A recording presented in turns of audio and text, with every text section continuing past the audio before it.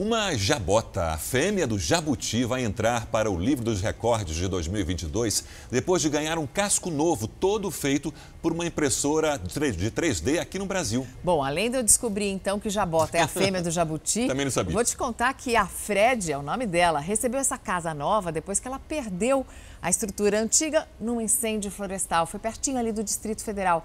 Mas o mais legal agora é que depois dessa proteção artificial feita em 3D, o casco verdadeiro dela voltou a crescer e isso surpreendeu os veterinários. Ela é comunicativa e, como qualquer celebridade internacional, adora uma câmera. Essa é a Fred, uma jabota, fêmea do jabuti que entrou para a edição 2022 do Guinness Book, o livro dos recordes. Ganhou status por ser o primeiro animal do mundo a usar uma prótese feita com tecnologia 3D. Totalmente brasileira, hein? O Matheus é um dos responsáveis por essa façanha. Em 2015, recebeu a Fred em casa depois que ela foi encontrada bastante machucada após um incêndio florestal no Distrito Federal. Parte do casco estava destruída e a jabota à beira da morte.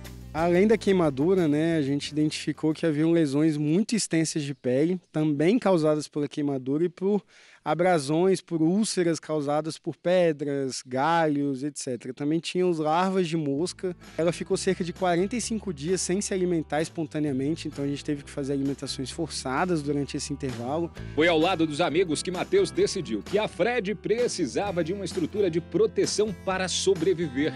Foram tiradas então 60 fotos e, com a ajuda de um programa de computador e de uma impressora, conseguiram projetar o novo casco.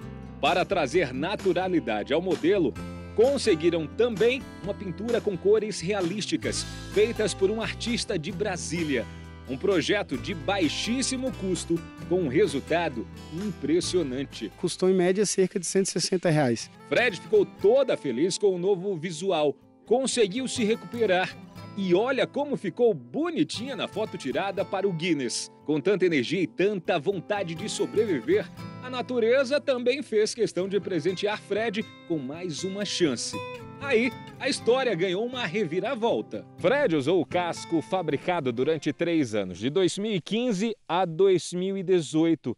E nesse período, durante os testes realizados, a equipe profissional percebeu que ela mais uma vez conseguiu se superar e superar até mesmo as teorias veterinárias.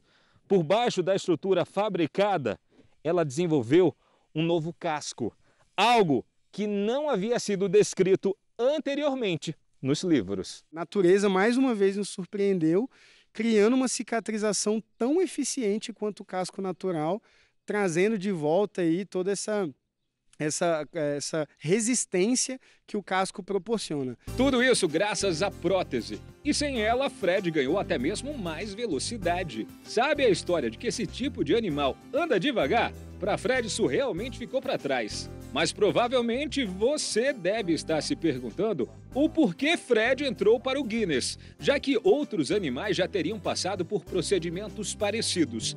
A diferença nesse caso faz referência ao tamanho da prótese. Foi a primeira no mundo nesse sentido com uma prótese tão extensa. A primeira a receber uma prótese de baixo custo, com material acessível, que era o nosso propósito também, tornar essa tecnologia acessível a outros colegas de outras áreas, inclusive, né? Fred se recuperou graças à focinha do Matheus e da tecnologia. E agora, além de ficar famosa, vai chegar ao próximo século com muita vitalidade. A gente estima que ela vive o máximo possível que um jabuti saudável possa viver, que é na casa dos 100 anos, né?